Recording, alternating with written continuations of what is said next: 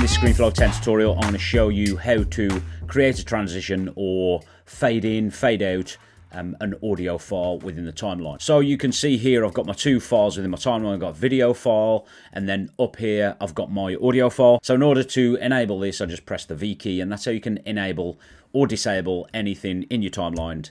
Now at the start the music just immediately plays and then at the end the music just immediately drops off. And what I want to do is I want to add a transition to this video. So in order to match that transition fading in, fading out, I want the audio to do the same. So first thing I want to do, I want to go to the start of my timeline because that's where I want my audio file to be silent. And then I'm going to reduce in the inspector the volume down to zero. And then I click action.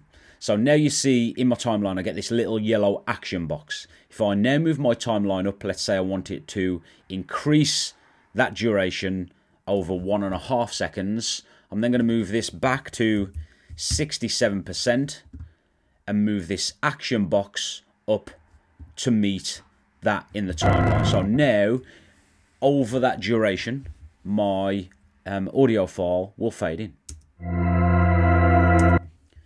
And then all I'm going to do is I'm going to reverse that action at the back end over whatever many seconds I want it to add the action box, drag it down to the end of the timeline, zero, and then come over here, drag the action box to extend over the duration of that period that I want it to work over. So now if I select the video in my timeline, right click on the video and select add starting and ending transitions, drag those transitions up to meet the audio transitions, and then play through this video.